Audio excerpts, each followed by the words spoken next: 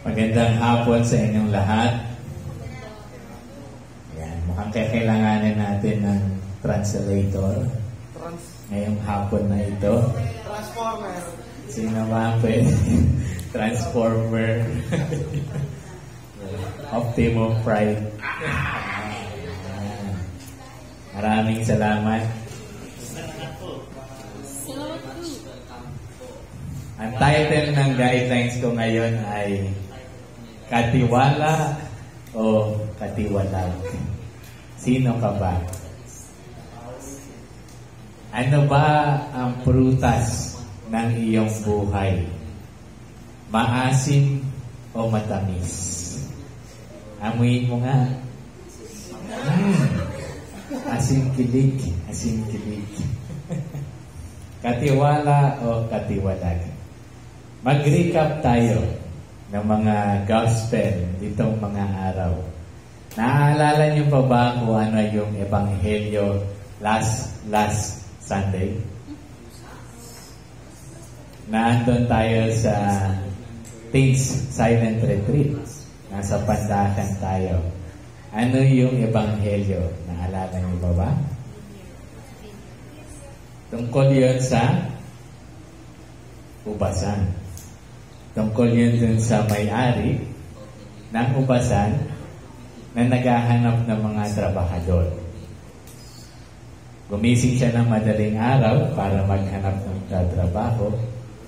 Tapos, naghanap ulit siya ng 9 o'clock, ng 12 p.m., ng 3 p.m., at ng 5 p.m. Lahat ng kaya niyang makita, binigyan niya ng oportunidad para magtrabaho sa kanyang ubasan. At lahat sila, binigyan niya ng patas na kabayaran. Ano naman yung gospel last Sunday? Tungkol saan? Tungkol yun sa ubasan. Di ba? Merong ama na may ubasan. Tapos mayroon siyang dalawang anak. Ano yung sinabi niya sa isang anak? O sa pareho sa kanila, magtrabaho kayo sa ubasan. Anong sabi ng isang anak? No, ayoko. Pero mamaya-maya, anong ginawa niya? Nagtrabaho din siya. Eh yung isang anak, sinabi niya, Yes. Oo, sige ba, magtatrabaho ko. Pero hindi naman ginawa. Yung unang anak, nagbagong loob. Yung pangalawang anak, nanloko. Nagsinungaling. Hindi niya tinupad ang kanyang pangako. Ang sakit. Di ba? Sabihin na natin siya ay inconsistent. At napaisip rin tayo sa buhay natin kung sino ba tayo dun sa dalawang anak. Kung isa-summarize ko yung fruits ng prayer ko nitong dalawang linggo, ay yung kaligayahan ng pagtatrabaho sa ubasan. The joy of working in the vineyard of the Lord. Nagpapasalamat ako sa aking ama dahil binigyan niya ako ng tsansa para magtrabaho sa kanyang ubasan. Yun pa lang, masaya na ako. Hindi ko na kailangan i-compare pa yung sarili ko sa iba. Na pareho lang kami ng sweldo nito, na mas matagal ako naghirap, siya saglit lang. Hindi. Masaya naman kasi ako nagtatrabaho sa ubasan. At may mga panahon siguro na nag-yes na ako, pero siguro inconsistent, tinatamad, no? o nagkakamali, nagkakasala. Pero bumabalik pa rin ako. Nag-yes, no, yes, no, yes, no, yes. No? Sinusubukan ko bumalik. Kasi masaya magtrabaho para sa Ama, sa kanyang ubasan. At ngayong Sunday, hulaan nyo kung anong ebanghelyo. Tungkol saan? Sa ubasan. ah, tungkol ulit sa vineyard of the Lord na pinapaalala sa atin sa isang parabola, sa isang kwento ni Jesus. Tingnan muna natin yung konteksto ng ating pagbasa. Ano bang nangyayari doon? Si Jesus pumasok na siya ng Jerusalem. Kumbaga, yun yung pinakasentro ng mga nananampalataya. Kumbaga, yun yung Vatican. No? Nandun siya sa Rome. Wow! Pinaka-head office ng simbahan ng mga Hudyo.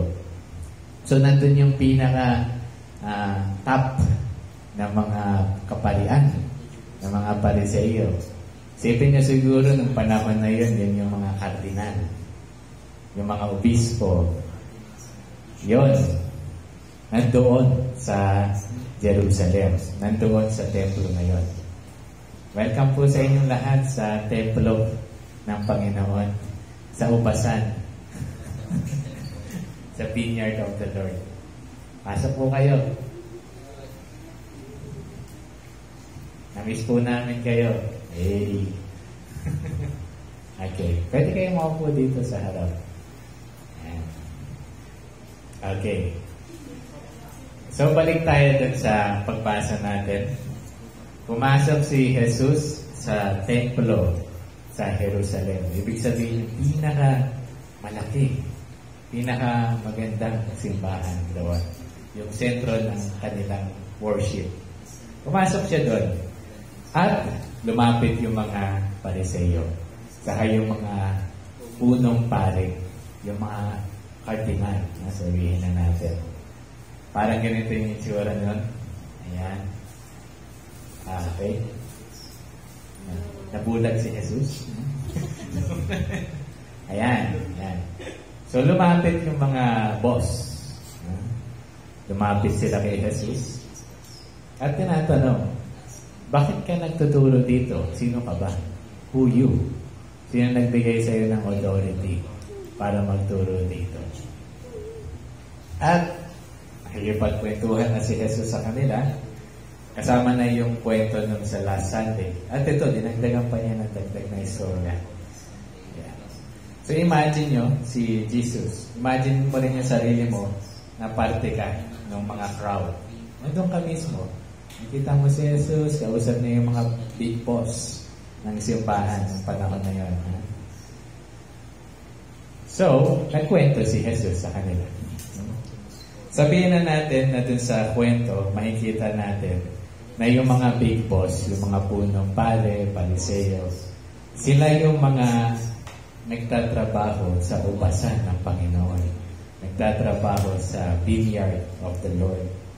At may kwento siya tungkol sa kanila, sa mga katiwala ng Panginoon. Tingnan din natin yung sarili natin bilang mga katiwala ng Panginoon. Nagtatrabaho sa kanyang vineyard. Tayo ba ay mabuti o masama? Maasim o matamis? Anong klaseng trabahador? Katiwala o katiwalak? Pasukin natin yung salita ng Diyos. Nakikita natin dito na hindi naniniwala yung mga big boss kay Jesus. Kaya tinatanong siya. Ngayon, ito yung parabola na sinabi ni Jesus. Sabi niya sa chapter 21, tama? Verse 33 ng Mateo. May isang taong nagtanim ng upas sa kanyang bukid. Binakuran niya ang upasan nilagyan ng isaan at tinayuan ng isang mataas na bantayan. So, hinandaan na lahat ng may-ari yung kanyang vineyard, yung kanyang ubasan. Ready na. Kulang na lang ng mga katiwala ng mga magtatrabaho. At itong ubasan na to, it represents the church. Ayan. Ayan na yung simbahan. Inanda na ng Panginoon. Inalagaan niya ito, inayos niya ito. Ngayon, kailangan niya ng mga katiwala na magpapatuloy nito para mas lalo pong mapalago yung simbahan. Nung panahon na yun, mga Hudyo. At tinawag nga niya yung mga tagapag uh, ayos, no? mga workers, mga laborers. Pagkatapos, ang ubasan ay kanyang pinaalagaan sa mga katiwala at siya ay nagpunta sa ibang lupain. Ito na nga yung mga pariseo, yung mga religious, yung mga big boss, yun yung mga pinagkatiwalaan ng ubasan, ng simbahan.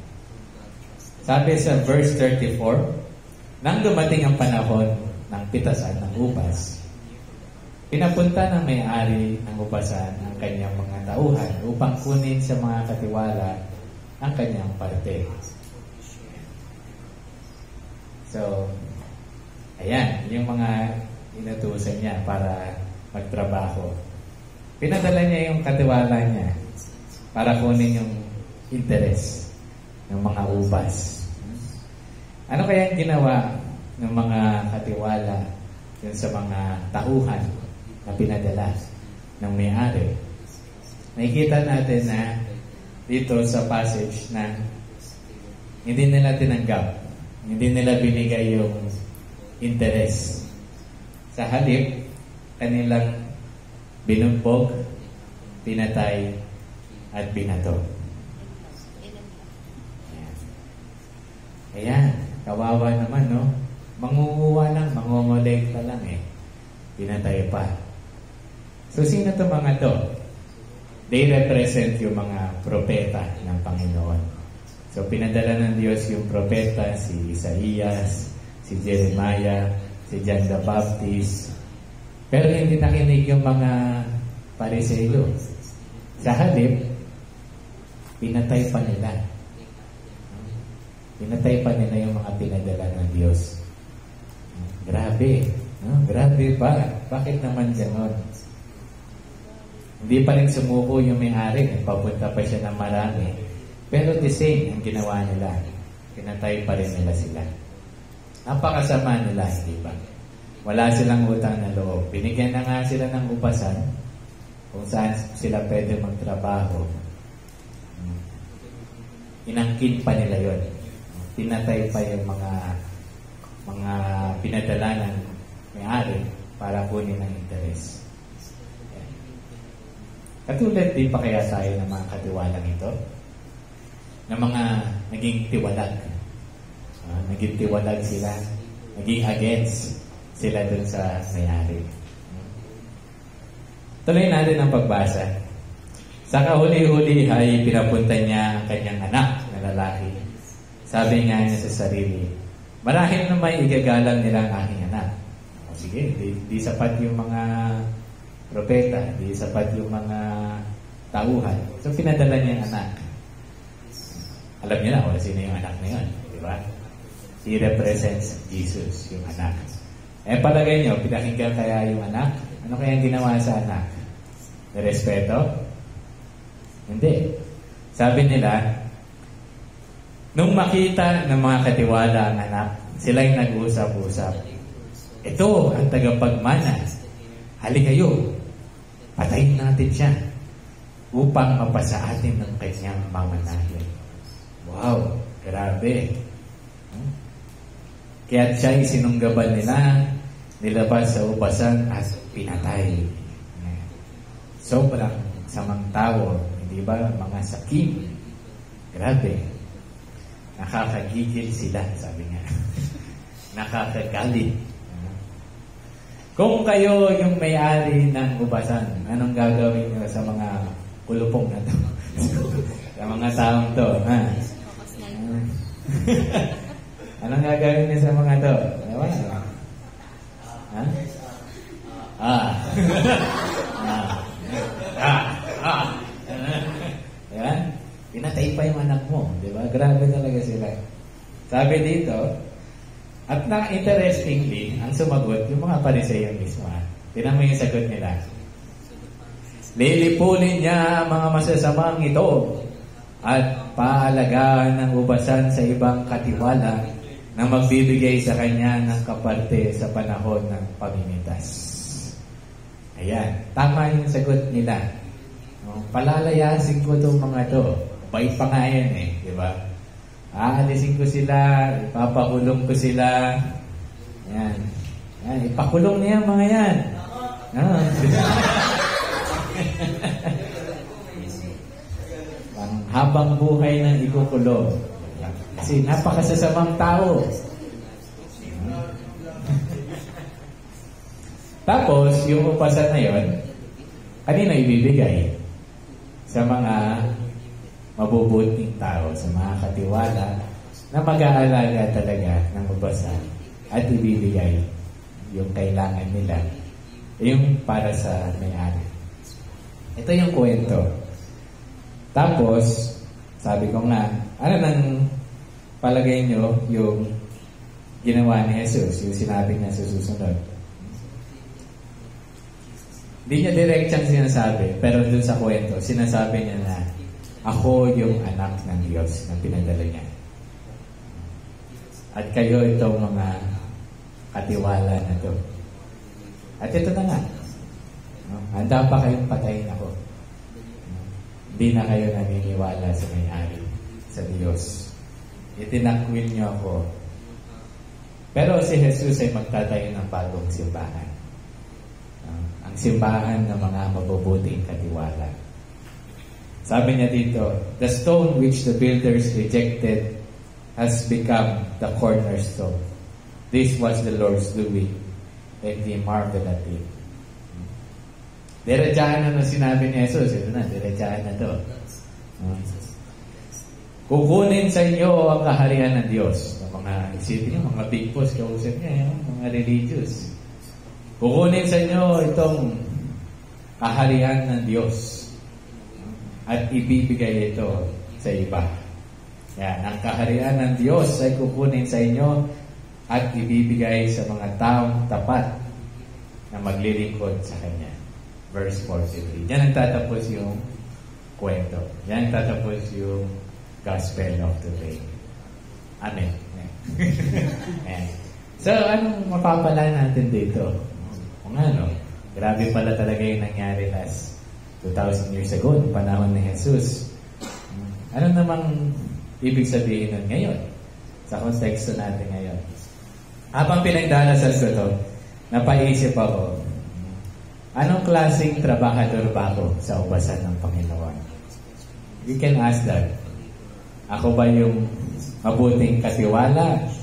Ako rin ay katiwalag. Sabihin, tumawalag na ako sa Diyos. Hindi na ako naniniwala. Ako ba ay tapat o sa King? Nakakalungkot bang isipin? Pero nangyayari din ito ngayon. Yung nangyari doon sa mga pariseyo, nangyayari din ngayon. Anong ibig sabihin nun? Sa dalawang paraan, gusto kong isipin to. Una, binigyan tayo ng Diyos ng lahat ng kailangan natin. Itong ubasan.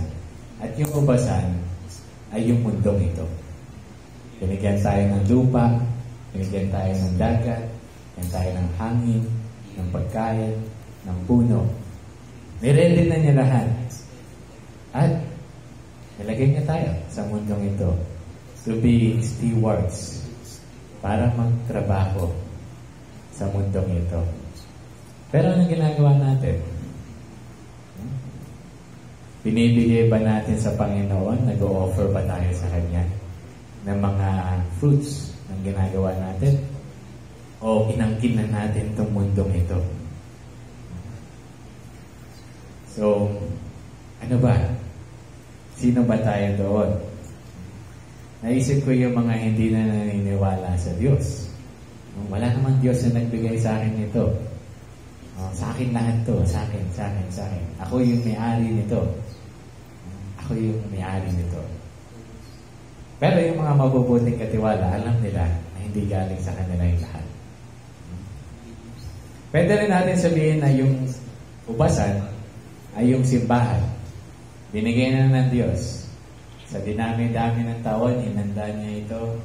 Binigyan tayo ng salita ng Diyos, ng tradisyon, ng kultura, kultura, kultura, ng doktrina, ng community, ng Verbum Day. Hindi pa ako buhay. Piniprepare na ng Diyos yung Verbum Day. So, binigay niya lahat ito. Ngayon, inas niya ako, inas niya tayo, magtrabaho sa ubasan na to. Inaangkin ba natin to? No, akin lang to. Ako may-ari nito. O binibigyan natin sa Diyos yung nararapat sa Kanya. Nitong linggo lang, may nakausap ako mga kabataan no pumunta kami sa FEU para mag-campus ministers. May mga sana all, ano? Yan. May mga nakilala kaming kabataan at may mga narinig ako na yung iba sa kanila medyo disappointed sa simbahan, saka sa mundo. Let's say, for example, yung mga politicians natin, di ba? Sila yung parang mga katiwala. Sa kanila yung mga pera, yung resources ng mundo ito. Pero anong ginagawa nila? Meron yung tinatawag na confidential funds. Bakit kaya confidential? Baka barilin ako dito pagkatapos ng talk na to. Hindi ko alam. Huh? Pero ano ba? Saan ba nila ginagamit yung mga pera? Mabuti ba silang katiwala? O sinasarili lang nila? Akin to. Amin to. Kung sino yung manggugulo, papatayin namin. O, bubugbugin namin. Babatuhin namin. Huwag kayo magulo. Akin to. Amin to. At meron din, sadly, sa simbahan, minsan, narinig namin dito sa mga kabataan na alam mo, may ibang mga community, sobrang yaman na nila, dami nilang pera. Yan, dami nilang lupa dito. Tingnan mo nga yung damit nila, branded pa. Uy. Napatingin tuloy ako sa damit ko nun. Hmm? Axis 4, branded. okay. Tingnan mo, pasandals-sandals pa sila. Sandals naman nila, mamahalin. Yan. Kung may mga ganun akong comment na naririnig. Yan, tingnan mo yun sa simbahan na yun. Puro mahihirap yung kapitbahay. Pero nagpa-fundraising sila ng 11 million pesos para bigyan ng corona si Mama Mary. Ano, Mama, grabe ah. Parang may mali nga doon, no? Di ba? So may mga ganong comment. Ano naman nangyari sa mga katiwala ng mundong ito sa katiwala ng simbahan? Anong nangyari? So maraming mga issue, mga skandal, mga problema. Hanggang ngayon, hindi lang noon, ngayon din. So ngayon, ano gagawin natin? Kung may mga ganun. Magagalit? Magko-complain? O katulad ni Jesus, sasabihin sa kanila, diretsahan, kung ano yung mali. Kasi ang lakas ng loob ni Jesus, di ba? Diniretsa niya yung mga big boss doon. Mali na itong ginagawa niyo. Of course, delikado buhay mo doon. Ganon. Eh, na delikado naman talaga yung buhay ni Jesus din. Diniretsa niya, malakas ang loob niya. Yun ang pwede natin gawin. At higit pa doon, tanungin din natin yung sarili natin. Baka naman ako rin, may mali rin ako. May pagkukulang din ako. So, simulan din natin yung pagbabago na gusto natin sa sarili natin. Simulan natin yung pagbabago na gusto natin makita sa sarili natin.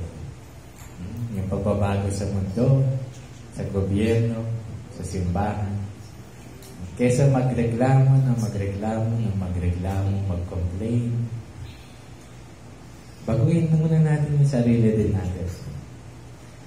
Isa sa solusyon na pwede natin gawin. Dahil napapaisip din talaga ako noon nung nagkaroon kami ng dialogue na gano'n. Ano yung magagawa ko rin bilang katiwala ng Diyos? Tapos, naalala ko si Jesus. Si Jesus mismo yung model natin. Siya yung nagpakita sa atin kung ano ba yung dapat gawin. At ito yung recommendation niya na may kita rin natin sa Ebanghelyo. Ito yung buhay ni Jesus. Merong tatlo. Nakikita natin sa Ebanghelyo. Narinig nyo na siguro to. Ito yung tinatawag ng evangelical counsels. Ibig sabihin, ito yung makikita natin na karakteristika o profile ni Jesus. Profile ng mga santo. Poverty, oh, simple. Chastity, kalinisan puri. Saka obedience, pagsunod. Maaari natin itong isabuhay sa atin para masolusyonan yung mga problema na nakikita natin. Una, ang daming problema sa pera, hindi ba? Ang daming korupsyon. Tapos makikita rin natin na yung mga iba na dapat pinapakita si Jesus. Ganun din, parang sobrang sobra-sobra din yung meron sila. Bakit merong BMW ito? Eh kung naipamigay, ay share na lang sana yun sa mga birthday youth, di ba? Kumbaga, I mean, hindi naman masama magkakotse, pero bakit kailangan ng luxurious car? Di ba? What's the point? Hindi naman, okay naman magkabag na 300 pesos. Eh bakit ka bibili ng branded na Prada na 50,000 pesos? Kung pareho lang ng 500 pesos na ba? Diba? So, simplicity. Maging simple. Mamuhay ng simple. Magsimula sa atin. Si Jesus, simple lang naman siya. Wala naman siyang mga magagarang gamit. Di ba? So ako, nung mga araw na to, tinitingnan ko, baka rin naman may mga sobra-sobra ang gamit. Mga sobra-sobrang damit na hindi ko na nagagamit. Bakit uh, hindi ko na lang kaya ibigay? Di ba? Sabi ko. So yan, baka siguro yun yung pwede ko gawin para sa mga walang damit.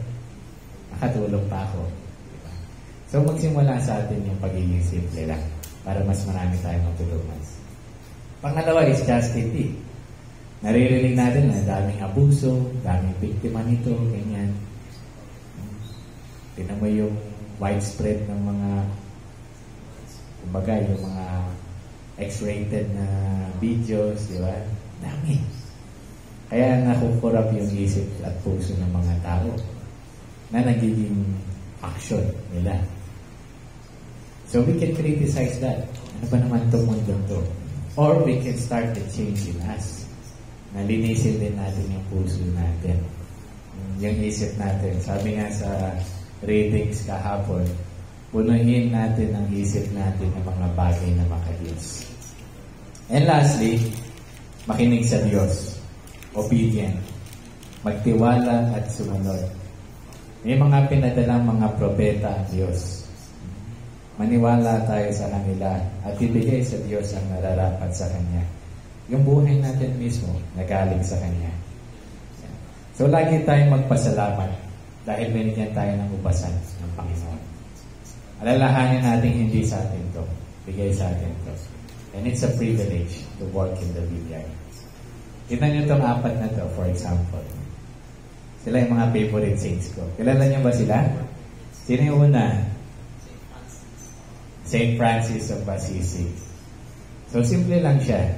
Nung panahon na 1,200 before, so mga 800 years ago, ah, ganun. Napansin din niya na yung mga kardinal, yung mga pare, kagara, nangyayman. So, parang may mali na dito, nagkakaroon na rin ng corruption. So, anong ginawa niya? E di sinabuhay niya yung buhay ni Jesus. Namuhay siya ng simple. Mayaman din siya sa totoo lang. Pero tinanggal niya lahat ng damit niya. Isang beses nga, naghubad pa siya dun sa harap ng maraming tao. Hindi ko na kailangan itong mga to. Diyos lang, sapat na. Hindi ko na kailangan ng mga branded na sapatos ng mga to. Simple lang. Dahil sa Diyos ang nagaling kasiyahan ko. Pangalawa, sino yun? Saint Teresa of Lisieux. So, namatay siya sa edad na 23. Bata siya namatay. At bata rin siya pumasok sa simbahan. Mga 15 pa lang ata pumasok na rin sa simbahan. Tama ba? 14. Okay. Act check. Yan. 14. pumasok na siya. Diba? Puro yung kanyang puso. At nakikita naman sa kanya, yung taong may puro na puso, parang nagliliwanag, di ba? Ah, parang sarap kasama, nakaka-attract. Yung tunay na nakaka-attract. Diba? Si, pangatlo, sino yan? Mother Teresa of Calcutta. Kitang-kita naman sa kanya yung tatlo. Yung pagiging simple niya, yung pagiging pure niya, at yung pagsunod niya, kahit na maraming against sa kanya, nung tinayo niya yung kanyang community, ginawa niya. Dahil ito yung sinasabi ng Diyos sa kanya, naiintindihan niya. And lastly, kilala niyo to?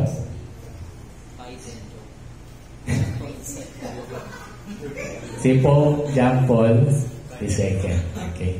Santo na rin siya. Idol ko yan. Lodi ko yan. Ah, sobrang fight niya. Ah, marami siyang nagawa mabuti sa mundo. Ah, Dati siyang actor. Pogi yan. Search niya sa Facebook. Ay sa Google. Yung mga kabataan niya. Kita niya, uy, Igo, parang si Kuya Jero to ah.